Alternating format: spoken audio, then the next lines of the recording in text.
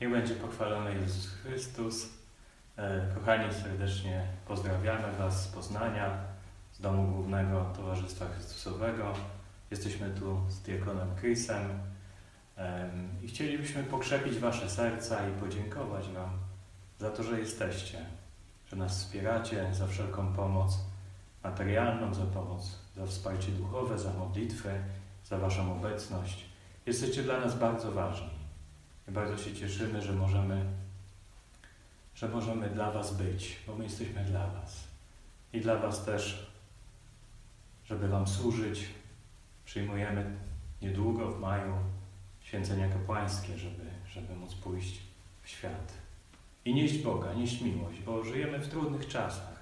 Pandemia, tworzą się bariery między ludźmi, i maski, i lockdowny, i różne inne problemy. I postępuje laicyzacja, wiemy co się dzieje też na ulicach.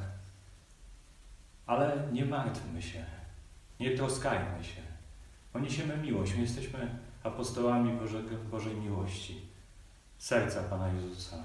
A miłość Boża przemienia ludzkie serca absolutnie. Dlatego nie musimy się bać i możemy z radością myśleć o Kościele, myśleć o Bogu, myśleć o przyszłości. Kochani, z radością i spokojnie odliczamy dni do naszych święceń kapłańskich, które planowane są na 25 maja tego roku w katedrze poznańskiej. E, No wiemy, że między nami nie ma dali. Jesteśmy blisko e, przez tą łączność e, modlitewną, więc wiemy, że będziecie tam razem z nami, duchowo, przez modlitwy. Bardzo Wam dziękujemy za, za wszelką, wszelkie wsparcie. I dziękujemy Wam też za zaufanie, za to, że obdarzacie nas swoim zaufaniem i, i, i składacie tyle intencji do naszej księgi dobrodziejów, swoich spraw, powierzając do modlenia. Dziękujemy też za zaufanie nam, przyszłym kapłanom i zachęcamy Was, abyście złożyli też intencje na msze prymicyjne.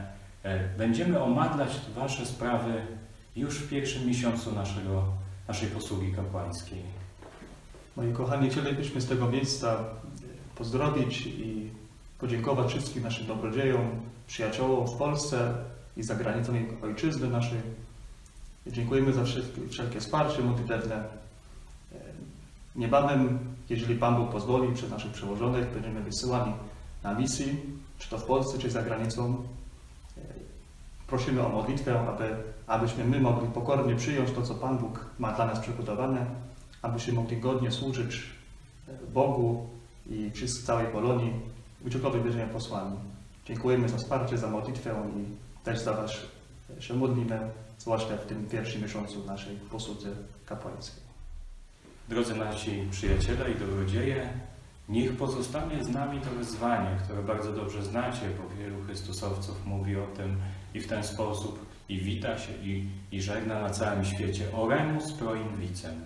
Módlmy się za siebie nawzajem.